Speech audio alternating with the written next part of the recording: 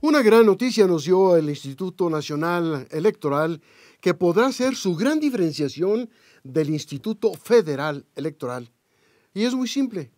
No se va a dejar atropellar en la elección del año próximo.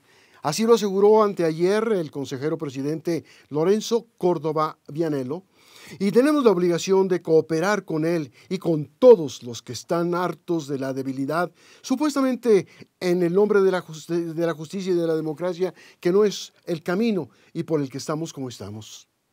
En adelante, pues, aceptemos que el INE dé la razón cuando la tenga, no cuando la imponga de igual manera el PRI que otro partido que intente pasarse de listo.